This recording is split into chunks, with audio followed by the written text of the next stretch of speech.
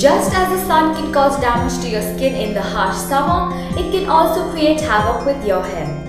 Summer is the time when you tend to suffer from excessive oil production in the scalp, which leads to dandruff, itching, and an unpleasant odor.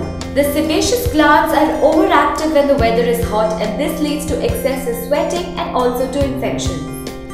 Unfortunately, your favorite summer pastime of swimming can also lead to further damage. The good news, however, is that there are several things you can do to limit the damage and help your hair retain its voluminous bounce and healthy texture even in the peak of heat. The first step in this direction is to trim off the dull split ends at the onset of summer.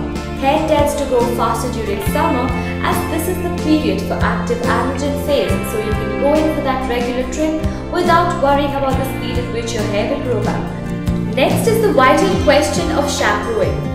Those with normal to dry hair can skip a day between washing their tresses with shampoo. But if you have oily hair, you can wash it daily without worrying about stripping the hair of its luster. Daily washing with the right shampoo will help to keep the oil from building up. Look for a shampoo meant specifically for oily hair.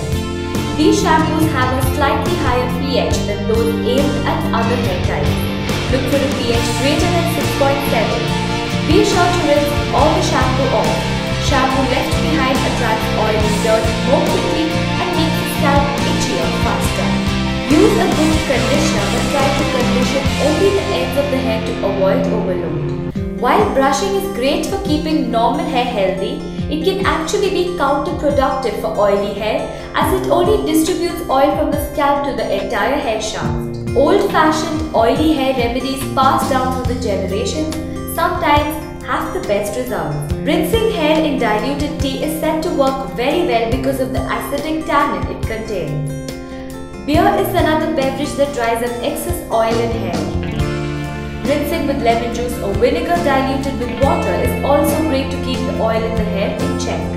Be sure to rinse with clear water afterwards. There are several precautions that one can take to prevent any damage to the hair rather than fixing it later.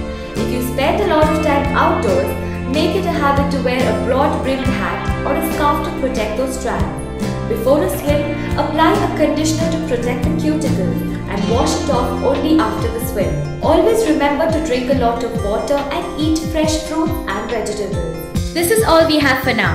Do tell us what you feel by leaving your comments below.